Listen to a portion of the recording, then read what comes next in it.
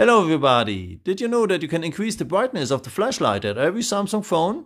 For that, just scroll on here, scroll on a second time, go on a written word torch or flashlight and turn the flashlight on and then you can increase the brightness level to 5. Go on done and that means whenever you turn on the flashlight you have always the most brightest one.